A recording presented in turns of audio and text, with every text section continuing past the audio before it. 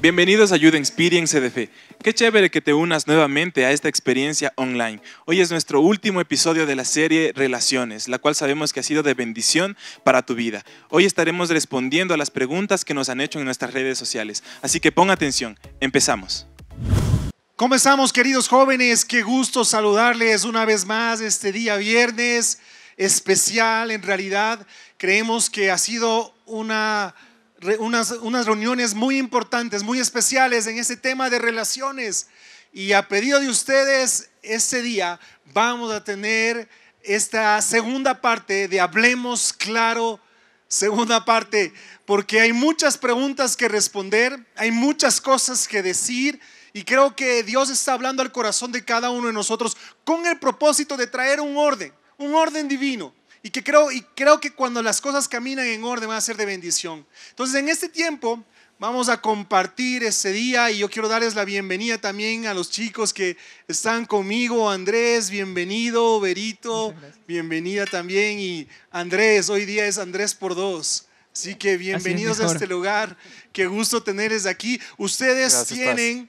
eh, varias preguntas realizadas también por los chicos y también imagino que son preguntas de ustedes también en esta etapa de soltería para lo que creo que Dios quiere también traer un orden y ustedes van a hacerse canal para que podamos nosotros responderlas, ¿ok? Vamos a, a conversar y hacer algunas cosas que creo que están dando resultado con el propósito de traer no solo información, que esta información traiga transformación al corazón de cada uno de los chicos que están viendo estos programas. Entonces, ¿por qué no entramos en acción? ¿Por qué no entramos en las preguntas? Ok, entonces, ¿por qué no empezamos primero las damas? Por favor. Muy bien, empiezo yo. Ok, Berito. Ah, en una amistad me puede gustar la misma persona. ¿Qué puedo hacer para, no ah, para competir de una forma desleal e imprudente? Ok, tú estás, esa pregunta quiere decir que tú tienes a tu amiga y a las dos le gusta el mismo chico o, el Andrés y el Andrés están aquí, los dos panas, mejores amigos, y le gusta la misma chica. Por ahí va la pregunta. Ok, ¿qué hacer? ¿Qué hacer en, en, estos casos? Si a los dos les gusta, a los dos chicos les gusta la misma chica, facilito, hacemos un ring y el que sale ganando se lleva a la chica. No, pero yo creo algo, yo creo que algo que es muy importante y, y creo que sucede mucho Sucede mucho en los círculos que estamos nosotros como amistades y ese tipo de cosas. Pero creo yo que la amistad ah, debemos nosotros valorarla muchísimo, muchísimo. De tal manera que mi consejo sería que si son amigos, converse. ¿Ok? Entre hombres tal vez esto es un poquito diferente, no un poquito, bastante diferente que las mujeres. Estoy pensando como hombre que, que si mi mejor amigo también me dice, mira, nos gusta la misma chica, brother, entonces, ah, puñetes. No, pero ahí sí, yo creo que eh, sería bueno que ellos dentro de la amistad conversen y van a llegar a un acuerdo, van a llegar a, algo donde en realidad voy a, a, disgustarme con mi mejor amigo, una amistad de años, por una relación que tal vez no dure, o una relación que tal vez tiene fecha de caducidad, o como pueda que sea para largo, pero por eso conversamos. Y eso va a ser muy interesante también, de poder tener un pacto, porque hay gente que puede decir, mira, no, hablemos, listo, ¿te gusta? Ok, vamos a intentarle. Si a ti te para bola, yo te apoyo. Si a mí me para bola, pues tienes que apoyarme. Pero la amistad vamos a guardarla. Y eso es importante. Yo creo que debemos valorar muchísimo la amistad. ¿Ok? Bueno, en el caso de las chicas, yo sí considero que es súper distinto. Eh, Seguro que debe ser distinto. Porque como chicas, primero no vamos a competir, porque obviamente quien conquista es el chico. Entonces, como chicas no tenemos por qué estar compitiendo por un, por un chico. y segundo, si somos amigas, yo creo que el plan está aquí en rendirse y decirle, Dios, me rindo. O sea, si es de Dios, y se va a dar con mi mejor amiga, ok, o sea, creo que el, el, punto es decirle Dios, yo me rindo, porque Dios es un Dios de orden, aparte no va a traer tremendo desorden ni pelearse entre amigas y todo esto para eh, compitiendo por un chico, entonces eh, creo que siempre va a ser imprudente competir. En el caso de las chicas, simplemente levantar las manos y decir, bueno, Señor, tú harás. Y Dios hará, confiar en que el Señor va a hacer. Eso creo que es importantísimo. Sí, correcto, porque las chicas también tienen otro sentir y, y, otra manera de ver, claro. Pero creo yo que lo que tú dices es importante, no estar en esa competencia porque una chica está llamada a ser conquistada también, en ese sentido. ¿De acuerdo? Es que acá, ahí eh, competir siempre implica compararse. Exacto. Siempre implica estar luchando en nuestras propias fuerzas. Y eso nos va a desgastar y no va a llegar a nada bueno. Entonces simplemente vamos a terminar en una desilusión si competimos. Entonces no, no hay para qué entrar en la competencia. Perfecto, ahí está la respuesta entonces. Ok, sigamos. Perfecto. Andresito. Listo, vamos con la segunda pregunta. Bueno, dice, ¿la diferencia de edad afecta en las relaciones, incluso cuando la chica sea mayor que él? A ver, la, diferencia de edad, ¿qué piensas tú? ¿Qué crees tú? Bueno, yo creo que eh, es importante el fundamento, ¿no? Y, y, no, es una, no es basado en la edad, sino en la madurez. Ya. Entonces, por ejemplo, pongamos un ejemplo, si es que el, chico está en la universidad y no tiene experiencia en el trabajo y está queriendo conquistar a una chica que ya trabaja, que ya está viendo... Que tiene su empresa. Ya por poco tiene su empresa, quiere, ya, ya tiene sus miras a su departamento y todo. Es obvio que ni siquiera le va a parar bola. Empecemos desde eso, porque no está en el mismo patín. Entonces, no es un ámbito de edad. Puede haber alguien que, que, igual que sea universitario, pero que ya trabaje muchos años y va a tener una madurez lo suficientemente estable también para poder conquistar el corazón de una mujer madura. Yo, yo, creo que sí, yo creo que sí. Yo creo que sí y no en esta respuesta. Como tú dices, no se trata de edad, sino de estabilidad, que es importante, es lo que hemos dicho en, este, en, en, en estos capítulos o en esta serie pero también sí debemos estar conscientes que sí va a afectar también. ¿Me explico? O sea, no es lo mismo ahora ella que tiene 30 años y él tiene 25 por poner algo, que mañana va a tener 50 y el otro va a tener 45 en diferentes cosas. Hay cosas que van a crecer, cambiar, disminuir, mover y uno tiene que estar consciente. Ahora, si hay extremos también, Ahora, conocemos de gente, hemos visto matrimonios de diferencias de edades de 7, 8, 9 años y que les va súper bien, porque hay estabilidad. Pero ellos han estado conscientes de esto. O sea, uno tiene que estar consciente del paquete, como quien dice. Entonces tenemos que estar claros, tanto para el hombre como para la mujer. Entonces, tenemos que simplemente ser francos. Por eso es importante ese proceso de, amistad, de amistad especial, de las cosas que hemos hablado, para poder cuadrar este tipo de cosas. ¿De acuerdo? Entonces, creo que en eso podemos concluir. ¿De acuerdo? Sí, yo creo que está muy bien. ok, Andresito. Bueno, ahí vamos con la siguiente pregunta, que dice, ¿por qué los jóvenes ya no quieren casarse? Está buena esta. ¿Por qué los jóvenes ya no quieren casarse? Andrés, ¿por qué? Yo debería preguntar eso. ¿Por qué, Andrés, no quieren casarse los jóvenes? Bueno, tengo algunas, algunos puntos. Creo que el primero es que hoy el mundo nos está diciendo que tú, tú, tú y solo tú eres lo más importante del mundo y nos olvidamos de pensar en el nosotros. Que cuando entras en una relación, el yo comienza a morir y el nosotros comienza a nacer. Lo siguiente es porque tenemos miedo. tenemos miedo porque tuvimos una herida en el pasado algo que nos afectó, algo que nos, nos marcó y pensamos que en el futuro nos va a pasar algo igual. Entonces, si Dios renueva nuestro corazón y Dios renueva nuestra mente y dejamos de pensar como el mundo piensa y comenzamos a escuchar la voz de Dios, esto va a cambiar y nosotros vamos a, a querer, anhelar y a dar pasos de fe para casarnos. Entonces tú dices que principalmente es porque tienen miedo, o sea, miedo a lo que, al nuevo o miedo a entrar en una relación. Hay gente que creo yo no se casa porque se conformó a estar en esa estación. Hay gente que quiere y tal vez ah, no rompe ciertos esquemas que tiene que tratar primero en su vida, no sé. Claro, como la comodidad, por ejemplo. Así es. Estamos como que cómodos en, en esa estación, que estás viviendo. Y dices aquí estoy bien, pero no nos damos cuenta que esa estación es una estación, no va a durar toda la vida. Así es.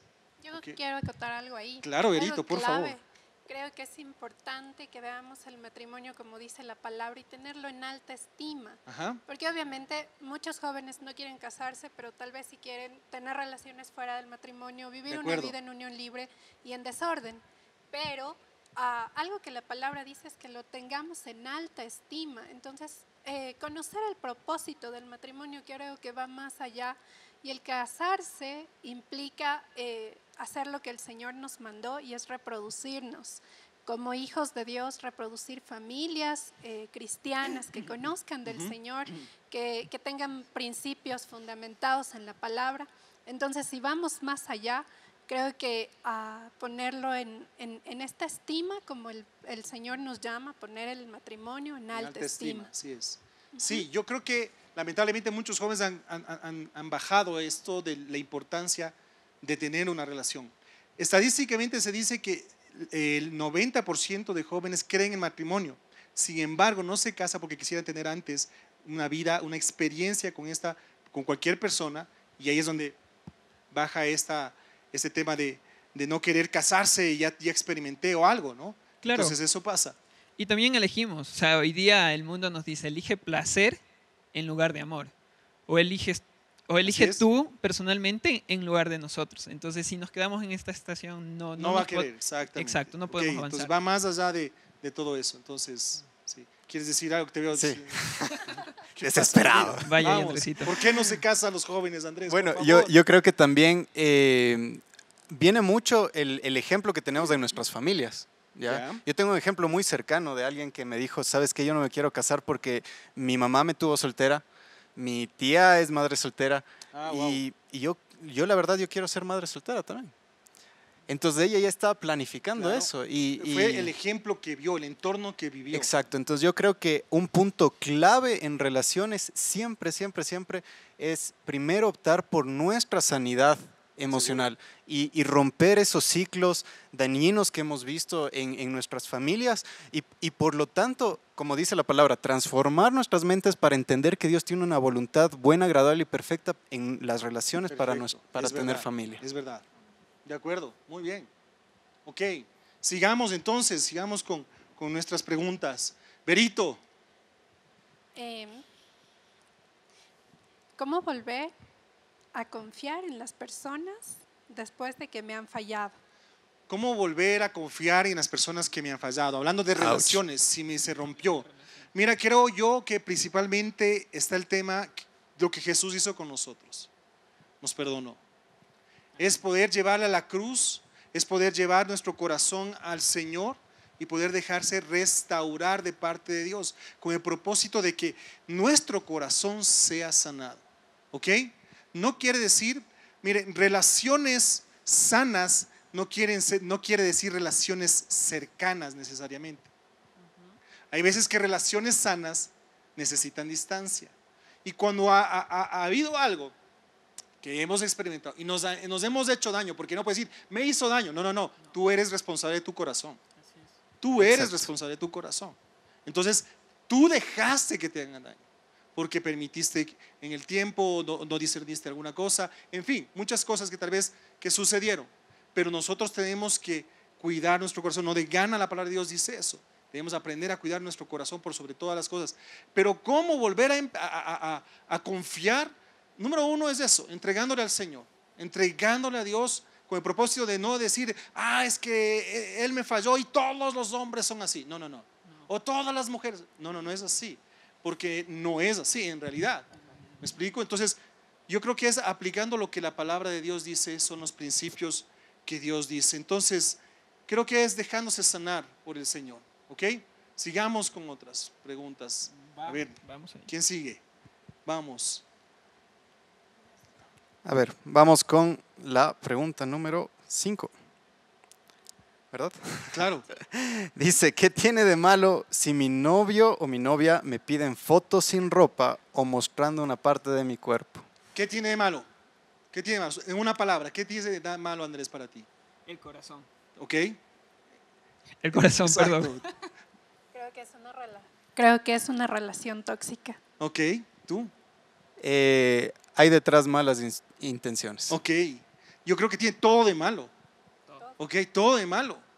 No, creo que esto es correcto, definitivamente no es correcto. Alguien que puede mostrarte tu cuerpo no va a mostrarte tu corazón. Y es importante entender esto porque son principios, porque es algo que nosotros debemos aprender a cuidarnos y a guardarnos. Entonces debemos guardar nuestra sexualidad, debemos guardarla. Y a propósito, nuestra siguiente serie es sobre sexualidad, así que atentos a ese uh, tema. Vamos a hablar sobre, sobre sexo también aquí en estas reuniones. Y esa es nuestra siguiente serie. Sin embargo, nosotros debemos guardarlo porque, mire, es muy fácil quitar la ropa, pero va a ser muy, muy, muy difícil y implica mucha intimidad de corazón, desnudar eso, el corazón a tu pareja. Y eso lo haces dentro del matrimonio. Entonces, si alguien está pidiendo esto, ah, que, que, pide fotos, que a veces están haciéndolo, mira, te estás poniendo en un terreno muy peligroso. Porque hoy te pide eso y mañana te manipula, mañana te está queriendo eh, pedir algo más que es muy dañino. Por eso es que Dios estableció la sexualidad dentro de un marco correcto. Entonces, alguien que te pide eso no es, como ustedes dicen, es tóxico, está algo mal, atrás de eso está mal el corazón, está dañado. Entonces no es, no es una relación a la cual deberíamos tenerla. ¿De acuerdo? Siguiente pregunta. Sí, y algo antes de terminar esa, que luego lo pueden usar en tu contra. O sea, eso, hoy día te piden una foto, mañana te terminan la relación y pasado mañana te publican en el Facebook, te chantajean y te acaban tu identidad, tu estima. Exacto. Entonces no es algo que pasó, no es algo de un momento. Es muy peligroso. Es muy peligroso. Y yo conozco el testimonio de una persona que se suicidó por eso. Exacto. Entonces no queremos eso. No. queremos para ustedes jóvenes esto, es queremos los principios que van a ayudarte. No puedes mandar eso absolutamente a nadie. Ok, continuemos. Esta está candela. Quedé embarazada de mi novio tengo que casarme con el papá de mi hijo. ¿Cómo que quedaste embarazado, oye, por favor? Bueno, leo tal cual está la pregunta. que están haciendo. Exacto, exacto. Solo pasa en vivo. Ya. Quedé, esta chica dice, quedé embarazada de mi novio. ¿Tengo que casarme con mi novio? A ver, consideremos esto que es importante. Tener relaciones sexuales antes del matrimonio no es lo correcto. Ya es un error. ¿Ok? el quedarse embarazado, el hijo, no es un error. ¿Ok? No es un error. Pero casarse con esa persona puede ser su segundo error. Entonces, creo que es algo muy personal. Puede, sí puede, pero como también puede ser algo que vaya a llevarle a otra consecuencia equivocada de un matrimonio eh, con problemas. Que sería lo ideal, por supuesto, pero no necesariamente tiene que ser lo que debe realizar.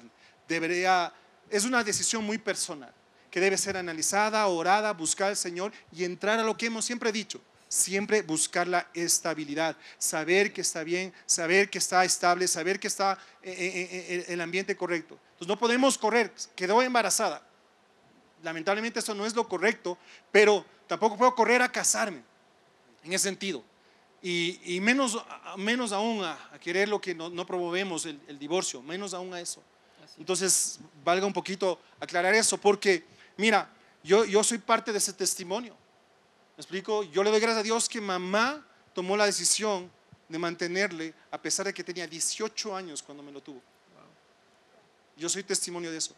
Y yo bendigo a aquellas madres que se han esforzado por esto y que han sido valientes en poder, a pesar de ese, esa situación que están viviendo, no es, no es fácil, pero sí decidieron bancársela y Dios mete su mano cuando tú decides defender la familia. Entonces es importante hacerlo. ¿De acuerdo? Sí. Entonces, vamos con la siguiente. Berito, creo. Nos toca la pregunta 7. ¿Dios escoge la persona correcta o yo decido con quién casarme? En ambos casos, ¿cómo saber que es él la indicada o el indicado? Ok, es la pregunta del millón. Muchas personas preguntan esto. Ok, si Dios tiene la persona y, ya correcta, ¿cómo? Mire, yo quiero decirles algo muy claramente. Dios no va a escoger, Dios va a prepararte. Dios nos prepara a nosotros. ¿Ok? Dios nos prepara a nosotros, pero tú eres el que decide. Tú eres la que decide. Tú eres el que decide, ok, Señor, yo sé, esta es la mujer lista, creo yo, estoy listo también, pero voy y le propongo. Y la mujer también va a decidir. ¿Le acepto o no le acepto? ¿Le acepto este yamín o no le acepto? ¿Que voy o no? Con... Tú tomas una decisión, ¿ok? Pero para tomar esa decisión, sí necesitas estar cerca del corazón de Dios. Para que Él te direccione, para que Él te ayude. Como un buen padre. Me explico, como buenos hijos vamos a ir a buscar el consejo. Y como un padre dice, no, este chico sí está bien, o esta chica sí es estable, me explico, vas a querer lo mejor. Pero la decisión es, es, nuestra. ¿Cómo saber qué es la persona correcta mientras esté cercano al, al corazón de Dios? Como decíamos en el anterior capítulo, en las anteriores veces, es importante entender que nosotros, hombres como hombres, si queremos nuestra princesa, es importante acercarnos al rey. Y mujeres, si quieres tú a tu príncipe azul, es mejor que estés cerca del rey de reyes, de señores, señores, que va a buscarlo ahí. Entonces es importante que nosotros corramos a eso. Entonces ahí vas a darte cuenta que va, a Dios, va Dios a poner paz en tu corazón y va a poner la dirección correcta. ¿De acuerdo? Algo importante que dice ahí la palabra paz es que ah, el temor de Dios nos libra del hombro de la mujer extraña. Entonces, justamente es eso, estar cerca del corazón de Dios y el Señor mismo nos va a guiar a tomar la decisión correcta. Pero obviamente no es que el Señor nos va a decir, ahí está esta persona y esta persona, y acá se y obligarnos, porque no somos como títeres. Tenemos esta, esta libertad para escoger y obviamente creo que es clave tomar el consejo de quienes ya han pasado por este camino, nuestros pastores, nuestros líderes, la gente que nos rodea es súper importante, que no eh, caminemos solos en esto, porque escoger con quién casarnos es una decisión muy ah, muy trascendente en nuestra vida, entonces no es algo que va a afectar el eh, digo, me caso y ya y ya está, entonces creo que nuestro propósito está en juego. Está en juego nuestro llamado, está en juego todo a, nuestra eternidad, ahí creo yo, el resto de, nuestra vida. Entonces, no es una decisión para tomarla a la carrera, ni, por, ni porque ya me coge la edad, se me ve el tren o cualquier cosa. O sea, definitivamente el Señor tiene eh, nuestra vida en sus manos, el tiempo para cada cosa y va a ser perfecto. Y, recuerden algo en ese punto, recuerden que no nacimos para casarte. Nacimos para buscarla y hacer la voluntad de Dios. Así que relájese. ¿Me explico? Va a ser, Dios va a conceder el deseo de casarse, sí, si es que el Señor no viene antes. Así que oremos por eso. Pero es importante que nosotros tengamos este orden y esta paz y esta, eh, esta, este, esta, quietud en el alma del corazón de cada uno de nosotros. ¿De acuerdo? Corramos entonces. Siguiente pregunta entonces. Vamos con, con esta pregunta que creo que tienes tú, Andrés. Bueno, esta, esta también está muy bien. Dice, ¿qué tanto debo ceder para qué tanto debo ceder de mí para agradar a mi pareja? Ok, yo creo que es importante entender algo en esto, poner, poner principios. Mira, tú perteneces a esta pareja cuando ya estás tú en, casado, comprometido realmente con un anillo ahí, Mientras tanto, tú tienes inclusive la libertad de decir, ¿sabes qué? No, tranquilamente, ¿me explico? Y puede darse esos momentos. Por eso es que todo esto es un paso de fe. Dentro de esa relación, una relación saludable, siempre va a haber un, un, cede y afloja, si cabe el término. Pero en el matrimonio es un constante morir. El matrimonio es un constante morir. Entonces, no puede ser que ahorita yo va a, a, ceder muchas cosas y de repente no, no, no me casé con él, más lo que cedí. Peor aún hablando del área sexual que ya habíamos topado. Pero es importante que nosotros también, sí, hay cosas que vamos a aprender y a ceder en una relación si lo hacemos dentro de una amistad. Hacemos dentro de una relación continua como, como, con las personas que están ahí alrededor. Más aún con alguien que tú quieres. Entonces va a ser en la medida que no toquen tus principios y que tú sabes que va a ayudar a mejorar la relación. Entonces, en ese sentido, siendo prácticos, si yo sé que mejor guardo mi celular o, no converso porque tal vez esto nos pone incómodos, cedo. Pero si yo sé que es porque puede hacer que esté chismeando o en otra relación o otro tipo de, conversación, lo que sea, o sea, va, a quebrantar mis, mis principios o yo voy a ceder en algo que, que yo sé que no están correctos, no van conforme a lo que yo profeso, a lo que yo sé que es lo correcto. Entonces es importante tener esa, esa base, ¿de acuerdo? Por eso es importante lo que la palabra de Dios dice, caminar en yugo igual, que es clave, ¿de acuerdo?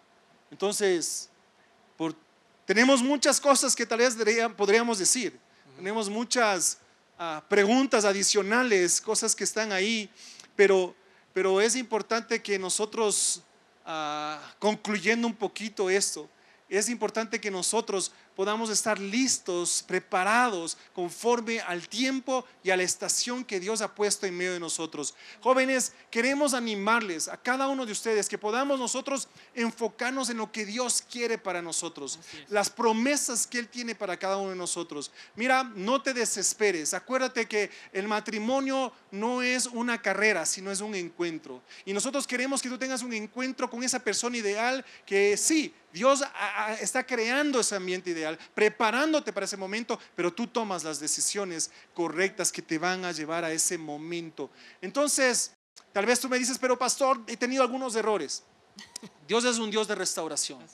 Tal vez es pastor, pero es que yo soy tímido. Dios también puede sacar lo valiente que tú eres por dentro. el fruto del Espíritu Santo está en ti y Él quiere trabajar contigo. Solamente recuerda, no se trata de edad, se trata de estabilidad. Y, creemos en todo esto. Y lo que creo yo podemos hacer en este día, en este momento que estamos cerrando esta serie, con esta última ah, charla de Hablemos Claro, parte 2, creo que es importante que oremos por ti. ¿Por qué no oramos entonces en esta hora? Cierra tus ojos ahí donde estás. Señor, yo te doy gracias por la vida de cada joven que ha estado viendo estas transmisiones, que ha estado viendo cada una de, estos, de, de esta serie, estos capítulos de esta serie, Señor. Yo te pido que tú tomes el control de cada corazón, de cada pensamiento en el nombre de Jesús y ayúdanos a ser jóvenes guiados por el Espíritu Santo. Gracias porque tú estás con nosotros, ayudándonos, guiándonos, Señor, en este tiempo a discernir los tiempos en el nombre de Jesús, Señor. Atamos todo espíritu de error y ayúdanos a caminar en este espíritu de verdad que va a traer libertad a nuestras vidas. En el nombre de Jesús oramos y yo declaro éxito en estas áreas de relaciones en el nombre de Jesús. Amén y amén. Quiero animarte a que tú puedas ver esta serie, que tú puedas alimentarte de la palabra de Dios, porque Dios tiene un mensaje para ti a través de este tiempo. Gracias por estar compartiendo con nosotros en este tiempo y animarte también a la siguiente serie que vamos a hablar sobre sexualidad clarísimo. ¿Qué es lo que Dios dice? ¿Qué es lo que él, él, plantea conforme a la palabra de Dios? Y tenemos invitados especiales para esta serie también. Que el Señor les bendiga. Gracias chicos por estar en este tiempo. Gracias. Gracias. Y que el Señor sea hablando a tu corazón. Y creemos que vas a tener matrimonios de éxito. Un abrazo gigante. Bendiciones. Este tiempo ha sido increíble. Si te gustó el video, dale like y comparte este link con todos tus amigos. Si queremos orar por tus necesidades, escríbenos o llámanos a los números que aparecerán en pantalla. Si te conectaste por primera vez, escríbenos y déjanos saber más de ti. Queremos que te unas a nuestras células de fe. Nos vemos la siguiente semana para disfrutar juntos de Youth Experience CDF. Bye.